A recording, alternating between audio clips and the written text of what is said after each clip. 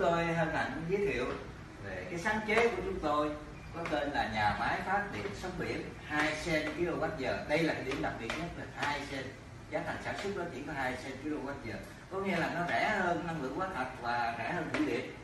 Và cái sáng chế này đã được Việt Nam chứng nhận số 03076 và Hoa Kỳ chứng nhận số 4321 rồi bây giờ chúng tôi sẽ trình bày về lợi ích của cái sáng chế này. Thì đây là một siêu dự án đại khả thi vì có 6 lợi ích nhưng chỉ là một đoạn mẫu là rõ ràng. À, mặc dù nó lớn nhưng mà chúng ta chỉ là một đoạn mẫu là chúng ta biết rồi à. Rồi bây giờ lợi ích thứ nhất là chống biến đổi khí hậu hiệu quả cứu đồng bằng sông Cửu Long giúp các nước giảm thải CO2 theo cam kết trong hội nghị quốc tế biến đổi khí hậu COP21 dễ dàng. À, rồi bây giờ đến lợi ích hai là tạo an toàn năng lượng và dư ra để xuất khẩu tạo hàng ngàn việc làm cho doanh nghiệp hàng vạn việc làm cho người dân tạo đê biển dài nhất thế giới à lợi ích ba là tạo đê biển dài nhất thế giới hơn 600 km tạo các hồ chứa nước ngọt khổng lồ tạo đường giao thông ven biển. Mà đặc biệt là không tốn kinh phí.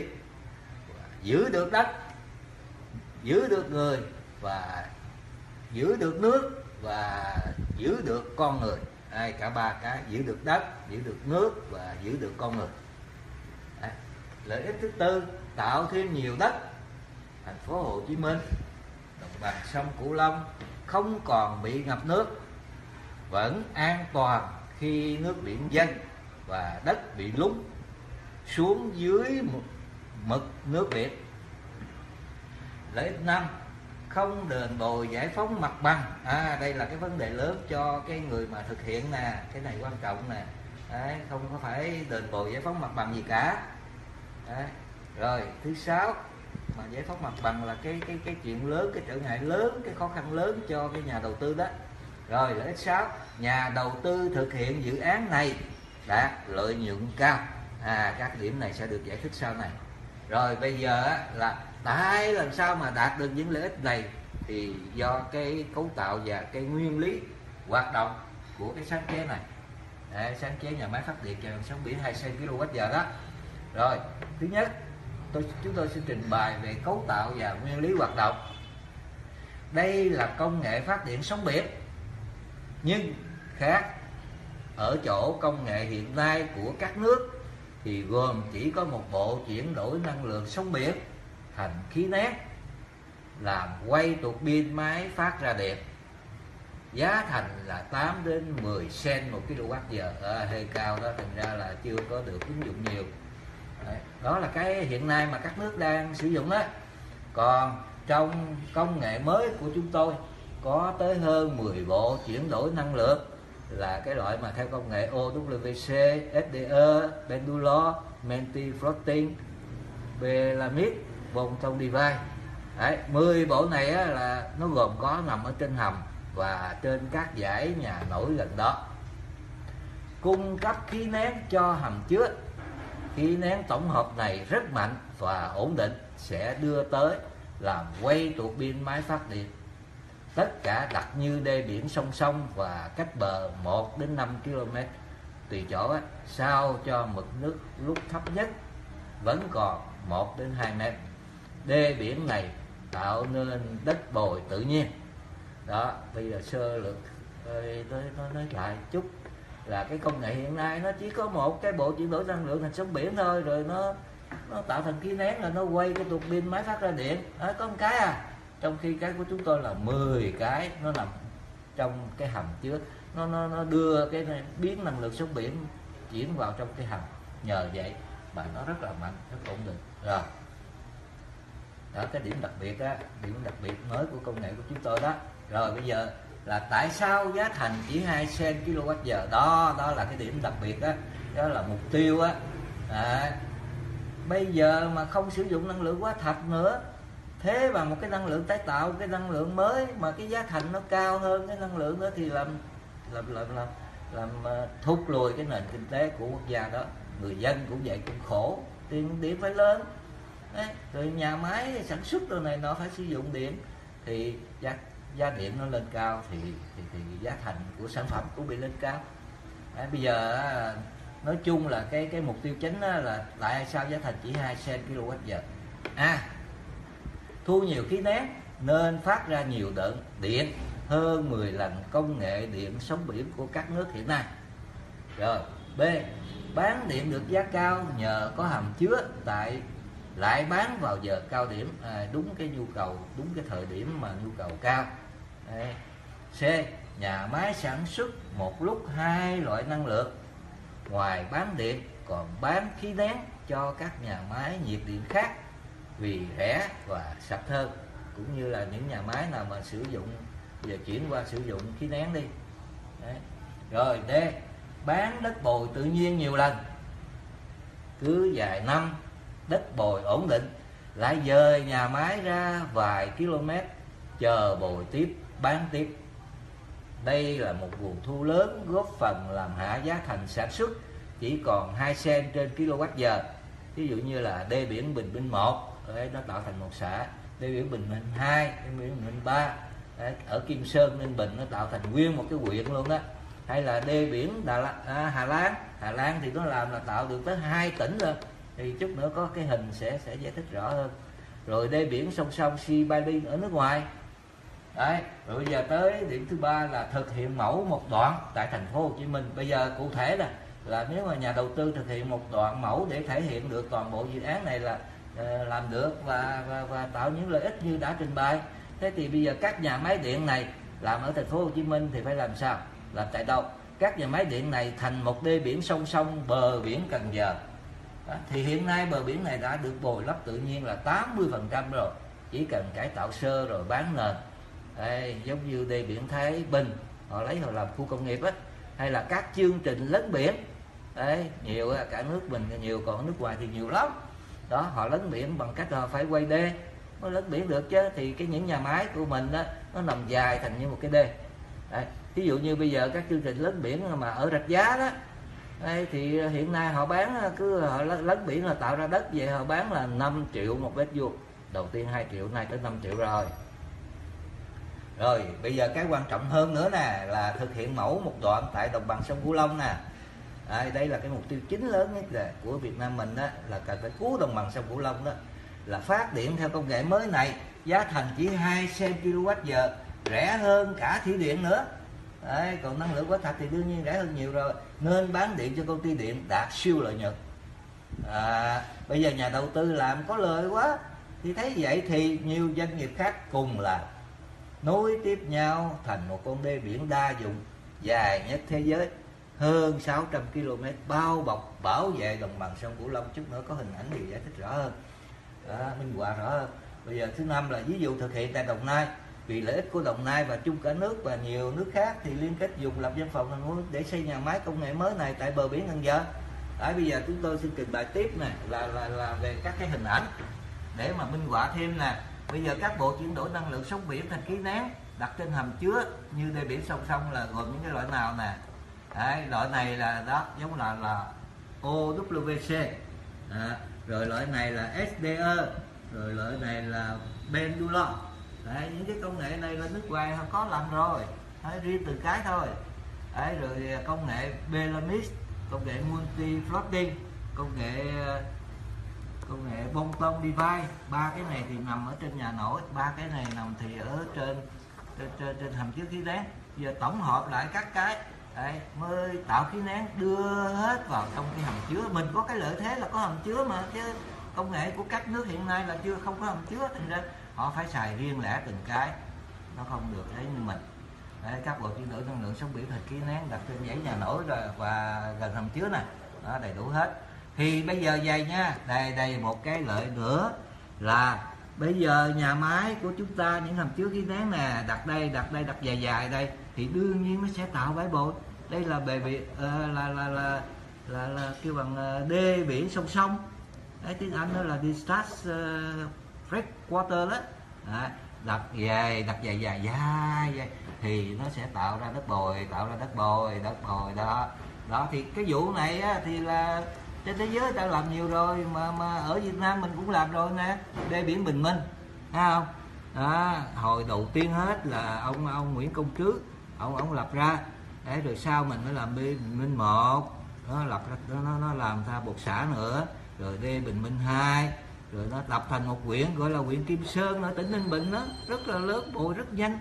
À, bây giờ làm thêm nữa là Bình Minh ba để cho rồi cho phát triển đất ra thêm nữa. À, rồi ở ở Hà Lan cũng vậy, cái vụ này là các nước ta làm rồi. Hà Lan lúc chưa có đê biển là là chúng ta thấy là không? Chưa có, chưa làm đê biển gì hết. Rồi bây giờ khi làm cái đê biển đây, đê biển Absolute nè Absolute đó, thì nó đầu tiên 1960 làm xong đê biển thì bồi lấp được một tỉnh. Nè, bồi lấp tỉnh này tỉnh này tỉnh này. Rồi tới năm 60 đó, qua tới năm 2009 thì Hà Lan bồi lấp được hai tỉnh. Đó đây một tỉnh đây một tỉnh nữa. Đây là cái khu vực bồi lấp thêm nè. Nè so với ban đầu á không? Đấy bồi lấp thêm. Đó là nhờ cái đê biển này nè. Này cái biển uh, Absolute nè. Còn đây là các hồ trở thành hồ chứa nước ngọt. Đấy, thành nước ngọt hết. Đấy. rồi. Rồi bây giờ nãy chúng ta cũng có nói về cái đồng bằng sông Cửu Long nè. Cái này rất là hay nè đấy mà rất là quan trọng mà là mục tiêu chính của chúng ta nè. Mặc dầu trên trên thế giới người ta đều làm được hết những nước nào bị ảnh hưởng biến đổi khí hậu ví dụ Bangladesh rồi này nọ nhiều thì nhưng mà bây giờ tập trung của ở nước mình đi là là, là thủ tướng chính phủ cũng nói là làm sao để kêu gọi để cứu được đồng bằng sông Cửu Long nè. Sông Cửu Long là bị tới tác hại kép lận. Đấy thì bây giờ chúng ta sẽ làm. Bây giờ từ đây là cần giờ nha đi đi đi đi hết con đi biển bao bọc hết à, hết đồng bằng sông Cửu Long 13 tỉnh của đồng bằng sông Cửu Long và cả thành phố Hồ Chí Minh luôn làm cho thành phố Hồ Chí Minh không bị ngập nước làm cho các anh này không bị tác hại của tác, tác hại kép. Đó. mà làm vậy á, thì hơn 600 ngàn km. Đấy thì tốn kém quá. Nhưng nếu mà làm công nghệ của chúng tôi thì không tốn kém mà lại là tạo ra công ăn việc làm cho hàng ngàn doanh nghiệp hàng vạn việc làm cho người dân. Đấy làm sao? Đây nhà nhà máy nha đây nhà máy nhà máy không nha. Nối liền nhau nối liền nhau nối liền nhau. À, mỗi cái nhà máy dài chừng ba bốn chục mét thôi. Dài dài dài hàng ngàn cái nhà máy. Mà làm hàng ngàn cái nhà máy này thì họ làm rồi họ lời quá mà đất bồi rồi bán điện rồi lời quá. Thành ra họ tranh nhà họ làm giống như thủy điện á. Thủy điện họ làm lời quá một cái khúc sông nhưng mà họ làm mấy nhà máy luôn mà. Tại vì lời thôi doanh nghiệp nào mà không không, không cần tiền à, lợi nhuận. Đấy thế thì tranh nhau họ làm dài dài dài dài dài dài, dài hết thành con đê biển. Đấy, dài hơn 600 km đây là dài hơn 600 km đó nha. Đấy mà không nhà nước không có tốn tiền. Mà doanh nghiệp á, thì có công ăn việc làm người dân có công ăn việc làm mà đạt được lợi nhuận cao nữa được tiền nữa. Quá hay rất hay rất hay. Này bây giờ mô hình làm rõ hơn nữa nha. Mô hình nữa minh họa thêm nữa bây giờ cái hầm chứa mình nè. Hầm chứa mình mà nãy nói đó. Đó trên hầm chứa phía trước đây là sóng biển ờ, đẩy vô nha sóng biển đẩy vô.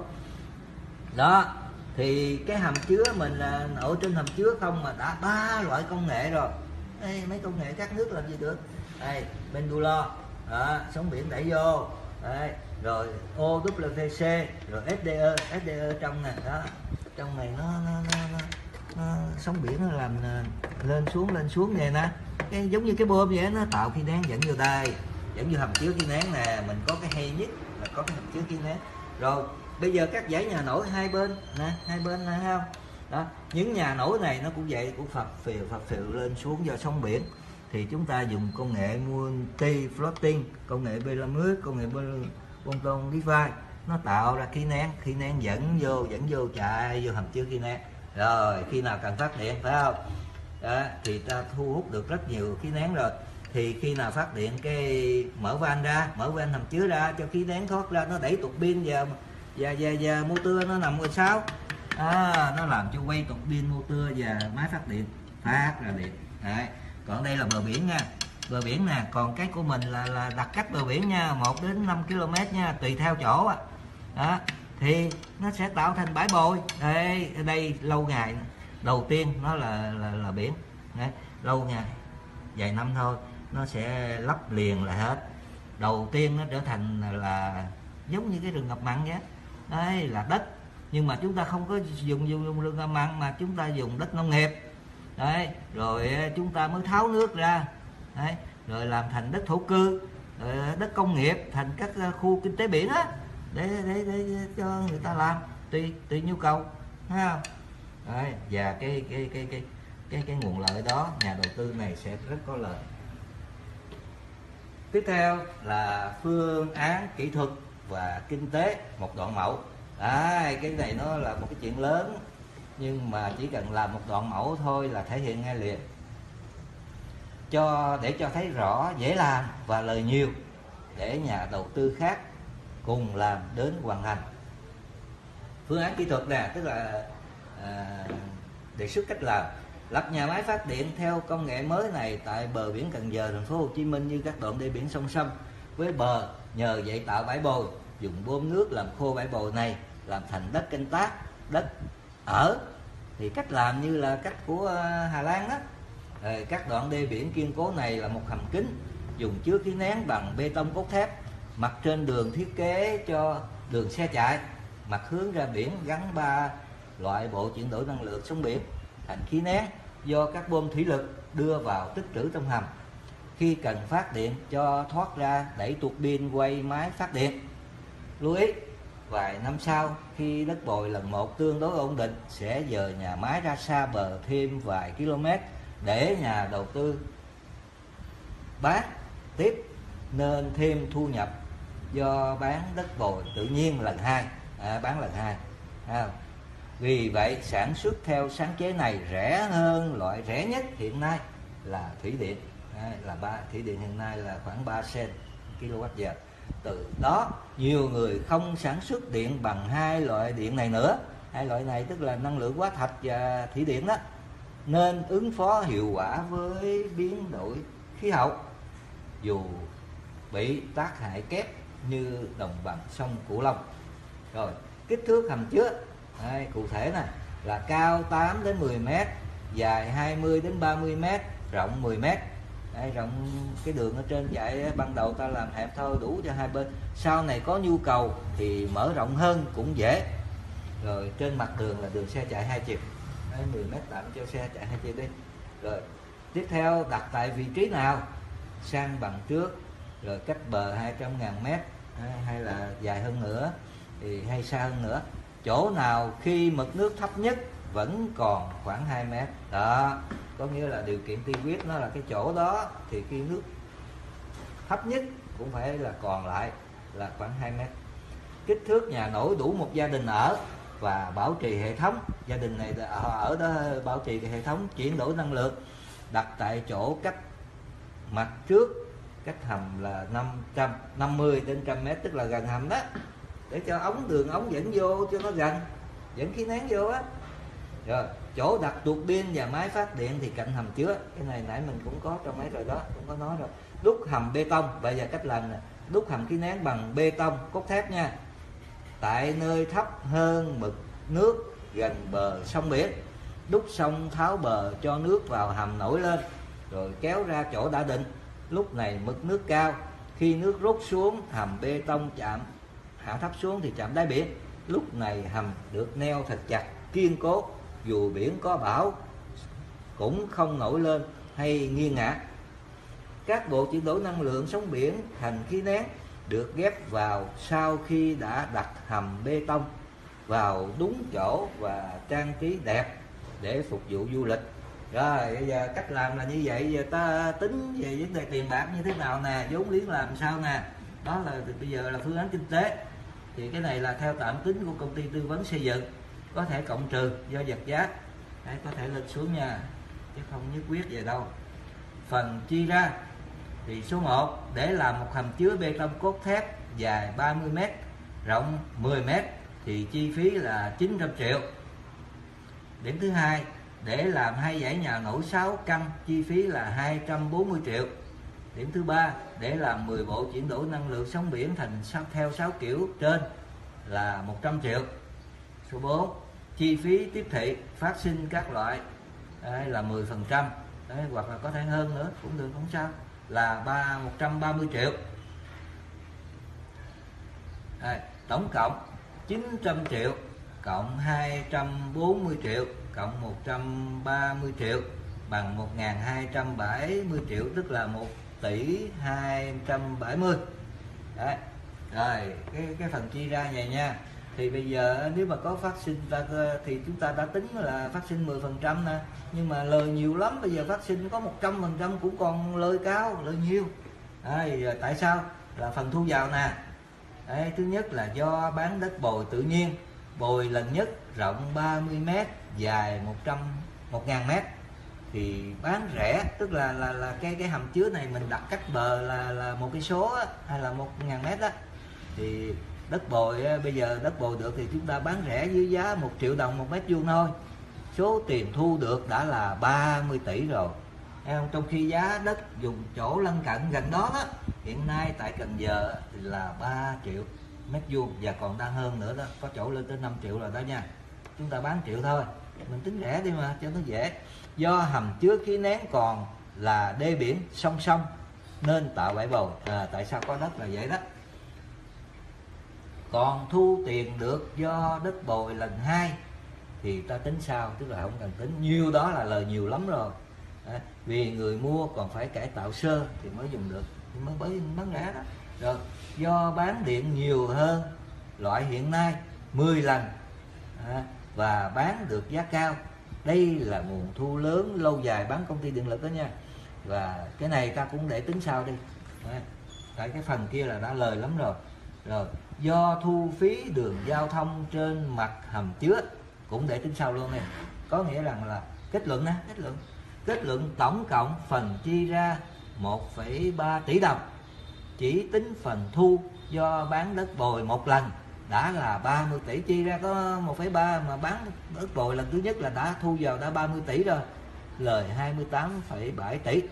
Đó là chưa tính bán đất bồi lần hai rồi tiền bán điện rồi tiền do đường giao thông rồi phần hỗ trợ ưu tiên một của nhà nước và các uh, của ưu tiên một các chương trình về biến đổi khí hậu năng lượng của nhà nước à nhà nước có cho uh, các cái nghị định thông tư là là hỗ trợ tối đa cho các chương trình năng lượng sạch và năng lượng uh, về vấn đề biến đổi khí hậu. Như vậy nhà đầu tư đạt siêu lợi nhuận ngay từ đầu là chính xác. À, thì đó rồi coi như tạm xong. Thì bây giờ là chúng tôi là, là xin cảm ơn các ờ, đã xem cái video này. À, xin hết.